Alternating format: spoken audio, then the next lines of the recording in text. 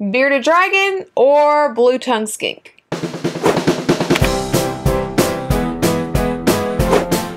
Good morning, Reptilians. Welcome, welcome back to my channel. So as soon as i uploaded my blue tongue skink setup video when i first got morty i got asked if i could do a blue tongue skink versus bearded dragon video and i wanted to wait until i had morty for a little while before i did that and now i've had him for a little while so we are doing that before we get started, this video is sponsored by the Dubia Dude. The TheDubiaDude.com is an awesome place to go and get dubia roaches and have them conveniently delivered to your house. As you guys know, dubia roaches are my main staple food for all of my insect-eating reptiles, and the TheDubiaDude.com is now my main supply of getting those roaches. Dubia roaches are cleaner, healthier, hardier, and contain so much more protein than crickets, and now you can have them delivered to your house. What's more convenient than that? That. TheDubiaDude.com is super easy to navigate as well. You literally click a couple buttons, there are pictures and everything, and you're good to go. On top of all that, the Dubia Dude has your reptile in mind. He feeds the roaches all organic, he also reuses materials,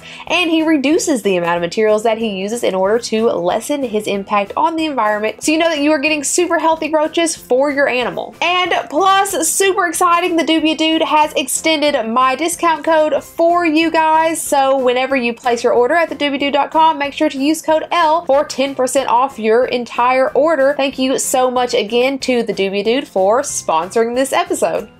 If you are brand new to the reptile world, you might be wondering why you would want to compare a bearded dragon and a blue tongue skink because they're obviously different animals, but these two animals are often the cause of debate as to which one is better. So I thought that I would put together a whole video about my personal experience with a bearded dragon and a blue tongue skink and just let you know what differences I've seen between the two. Quick disclaimer, this is not meant to be a care guide for either of these animals. This is is just my personal opinion on the care and handleability and all that good stuff of each of the animals. If you are in need of a care guide, I have a couple of bearded dragon care guides, feeding guides, setups, things like that. And Reptile Mountain TV does an amazing job at doing care guides and everything you need for blue tongue skinks. So definitely check out his video. I don't have a care guide for a blue tongue skink yet because I don't feel comfortable doing that until I've had him for quite a bit longer. But yeah, if you need care guides, definitely check those two things out. But let's get started on that video.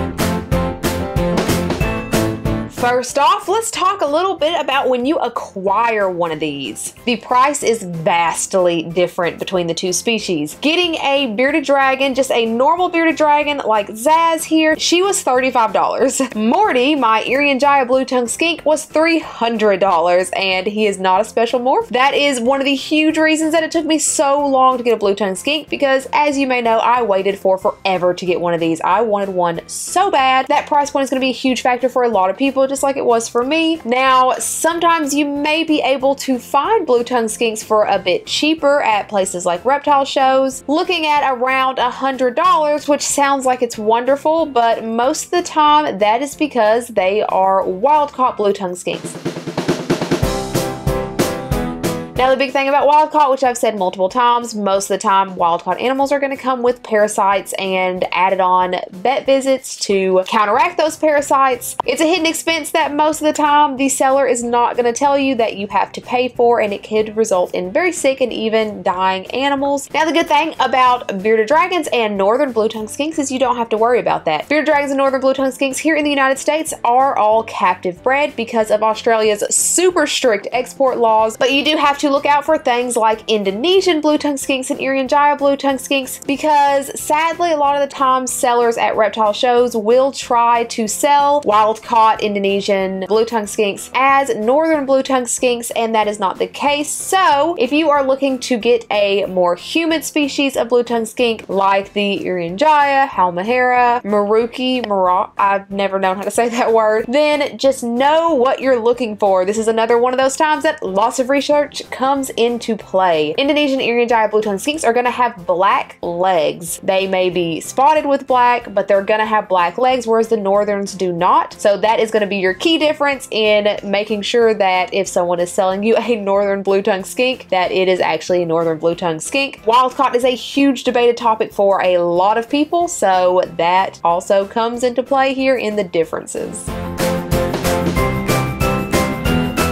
And that leads us right into availability. Bearded dragons are available anywhere and everywhere. You could literally go down to your local chain pet store and they surely will have a tank of bearded dragons, but please don't do that. Please don't buy from chain pet stores, but they are everywhere. For blue tongue skinks, they're a little bit hard to find, so you're gonna be looking more into online sellers, Facebook groups that have local breeders and reptile shows in your area. Sometimes local family-owned pet stores will get them in, and a lot of times breeders will actually have wait lists for them them, so they're not going to be a thing that you can just get whenever you want. But if it's something that you really, really, really want, I highly suggest waiting for one to be available because they are wonderful animals.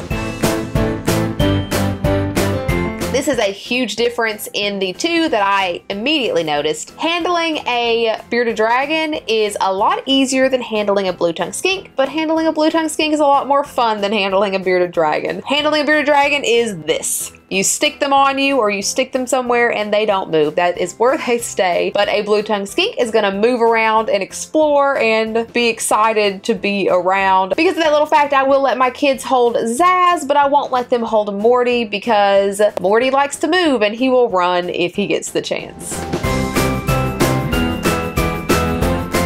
Their care in general is pretty similar, especially if we're looking at northern blue tongue skinks and bearded dragons. The tank size is going to be 40 gallon breeder minimum for them. I highly advise to go bigger than that. I just upgraded Zaz's tank and Morty will be getting an upgrade soon. When he is an adult, he's definitely going to be in a bigger tank. I suggest a 48 inch minimum tank size for an adult bearded dragon or blue tongue skink. The temperature requirements are going to be pretty similar as well. Hot spot of about 100 for a blue tongue skink. Morty likes it a little cooler than that, so his is at about 90, 95. And same with Zaz. Zaz stays at about 90 because she has also always liked it cool, but pretty similar there as well. The use of UVB for each of these animals is also a little different. They are both diurnal species, so they do both benefit greatly from UVB. Now, bearded dragons have to have to have to have full spectrum linear UV lighting, while the use of UV is debated for its necessity for blue tongue skinks. I use linear UV lighting for my blue tongue skink because they are a diurnal species, which means in the wild they would be exposed to the sun. Some people, especially large breeding corporations, have kept these in rack systems without lighting. However, I still definitely think that they need lighting because like I said, they are exposed to the sun. So UV lighting is, I guess, more important for a bearded dragon in that you have to have full spectrum linear UV lighting and it has to take up about two thirds of your tank where a blue tongue skink is a little more lax on that. And for enrichment in those enclosures, I honestly think it's easier to give blue tongue skinks enrichment just because they do really good with loose substrate. Again, bearded dragon loose substrate is a highly debated topic. I don't give Zaz loose substrate because of the risk of impaction. I keep her on and I give her lots of things to climb and hide in and scratch up against and all of those things. But blue tongue skinks are burrowers. They will actually spend a lot of their time burrowed under the substrate, so they have to have a loose substrate. Because of this, that makes giving them enrichment a little bit easier because they're going to spend a lot of time burrowing, which is enriching to them. With bearded dragons, they actually enjoy climbing, so you can give them sticks and things to climb, and they happily will. Whereas blue tongue skinks need to have all their decorations on the ground because they are a very heavy bodied species and they're not going to do very well if they fall. Now we have Morty. Morty is my Irian Jaya Blue Tongue Skink, and he's gonna be hanging out with me for this next little bit. But humidity. Humidity is another big thing, which is gonna be pretty different depending on the subspecies of Blue Tongue Skink that you have. Morty here needs a pretty high humidity, whereas a Northern Blue Tongue Skink and Bearded Dragons both need a low humidity. So if you like tropical tank setups, Blue Tongue Skink is gonna be super good for that. But if you like the more desert, aspen or tile, things like that, that, then a bearded dragon or a northern blue tongue skink is going to be the best way to go. About feeding them. These guys are incredibly similar when it comes to feeding. They are omnivores, which means they have a large variety of things that they can eat. Mine both absolutely love dubia roaches and waxworms as a treat only. And they also eat veggies like leafy greens, like collard greens, turnip greens, mustard greens, things like that is going to be part of both their diet. But the cool thing about blue tongue skinks is that they also do very well on stable foods such as cat foods as babies and dog foods foods as adults, and Repashy's Blue Buffet, Arcadia's Blue Tongue Skink food. And according to some breeders, they actually live longer when kept on these pre-made foods as long as you are feeding them high quality foods, not just going out to Walmart and grabbing the first thing that you see. That being said, Morty here has never been picky. He will eat whatever I put in front of him to the point of I've literally woken up in the middle of the night and seen him licking his empty food bowl. Whereas Zaz is super picky. She will starve herself and go on hunger strikes until she gets whatever bug it is that she wants, which most of the time I have found is always hornworms. This might just be my experience. I know some people's bearded dragons are garbage cans, like they eat everything, but personally I've found that Zaz is a lot more picky than Morty is. And that also goes for baby bearded dragons. Some baby bearded dragons have a very hard time transitioning into eating less bugs and more veggies, so that is another thing that you might have to deal with. Speaking of baby bearded dragons, baby bearded dragons are so expensive to feed. This is something that no one told me when I got Zaz, and I found out very quickly the hard way. Baby bearded dragons can easily put away 80 to 100 small crickets every single day. They eat a lot. Unfortunately, I didn't have dubia roaches when Zaz as a baby, so I'm not sure how many of those they eat. Usually animals will eat less dubia than they do crickets because dubia roaches are more hardy. They eat a lot and it gets very expensive very fast. With Zaz, I was having to buy cases of a thousand crickets every other week because she ate that many and also half the crickets always died. With Morty, he is super easy to feed as a baby with one of the small cans of cat food that would last him the entire week. For a little over a dollar, I could could feed him for an entire week, which is absolutely wonderful if you're looking on the expense side of things. That kind of balances out the initial cost of that $300 versus $35 when you are looking at how much you're going to have to pay to feed them. I know a lot of people ask me all the time how much I spend on my animals a month or what's the initial price of setting up for animals. So if that is something that you are interested in, let me know below because I was thinking about doing a series where I just look at every single animal and let you know how much I paid to initially set everything up, buy everything, and how much a month it costs for food and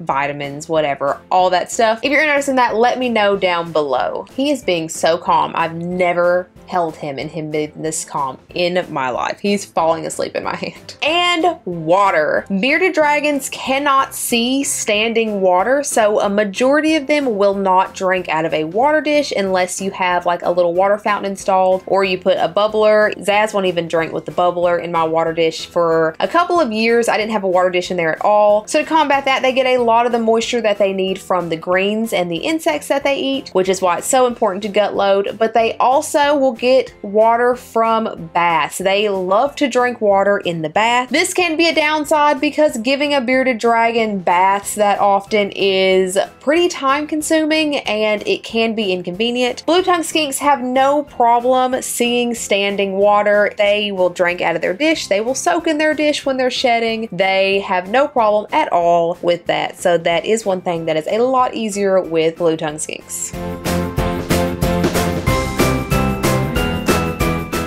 We'll just talk about some of the smaller things, behaviors, looks, things like that. So first of all, when they shed, it's vastly different. With bearded dragons, they'll shed in little pieces and it takes a long time. It can take a week or two for them to get all that shed off and it'll usually be throughout the whole tank and it'll leave the tank dirty for a long time. Blue tongue skinks will usually get all their shed off in a single day. They'll soak in their water dish and then they almost shed like a snake, but it doesn't peel off in one piece like a snake. It just kind of all comes off at the same time, if that makes sense. Another thing that's just purely personal preference is what makes a bearded dragon a bearded dragon and a blue tongue skink a blue tongue skink. When Zaz wakes up in the morning, the first thing she does is she yawns really big and she stretches out that beard and puffs up her body and it's a really cool thing to watch. And with Morty, whenever he is exploring a new habitat or just exploring in general, he is always flicking that blue tongue. But yeah, those are just two really cool things to watch, which you can watch all the time because they are both diurnal, which means that they are going to be active all day.